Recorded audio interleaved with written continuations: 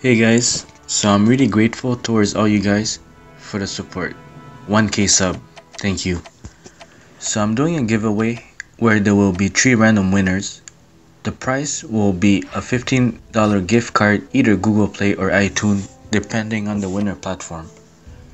Uh, you can get a monthly diamond with it or anything you like. The rules is simple. You gotta be a sub, uh, like the video and leave a comment. For the comment, you can let me know if the content have helped you out or you could suggest like a video but any type of comment is fine. Well, enjoy the rest of the video and see you next time.